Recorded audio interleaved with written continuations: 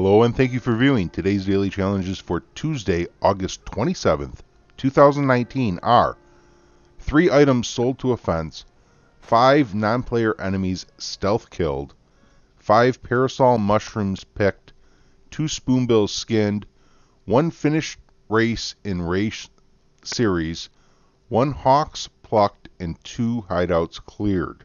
For those non-player enemies stealth killed, I'd recommend going to Thieves Landing and using your bow. Get a headshot from long range without anyone knowing you're there. Should count as a stealth kill. I've updated my spoonbill map. I previously had two maps and I wasn't showing the locations by the O in Lemoyne. And that location by the O in Lemoyne is a very reliable spot I have found.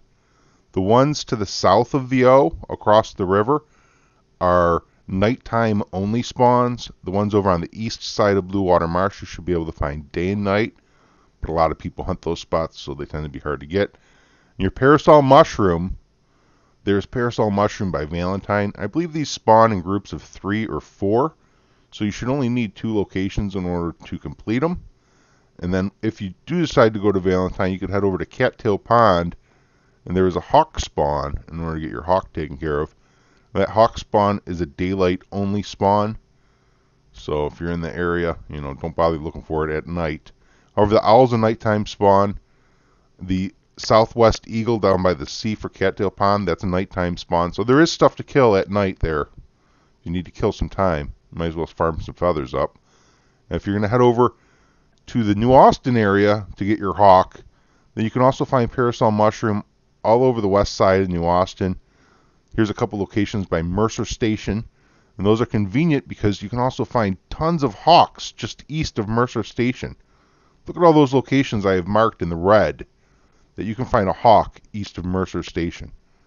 It's actually a really good hunting spot. You, you can make some pretty decent money hunting that spot. Get your camp set up there. Use your camp fast travel to hop back and forth from the butcher. I've done it. It's pretty reliable. And then obviously, Rathskeller Fork is just loaded with hawk as well. And you can find parasol mushroom around that area in between Rathskeller and Tumbleweed. However, I don't have a map showing exact locations for it, but you know how to use Eagle Eye. You can find it yourself. Just give it a good gander. And then here is a map showing numerous locations, picking up all sorts of stuff, including jewelry. You can see Braithwaite Manor has a jewelry, but over by LaGras, down by the O in Bayou, there are two jewelry, and then at the Lakay gang hideout, there's a jewelry there. And well, we need to do gang hideouts. So here's a map. Check the link in the description.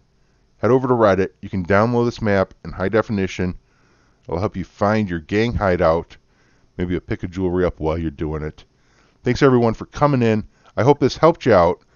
Thanks for viewing, commenting, subscribing, liking, sharing. Especially thank you everyone for joining and donating. You're all awesome. I appreciate you. I'll catch y'all next time. Until then, happy hunting and happy trails.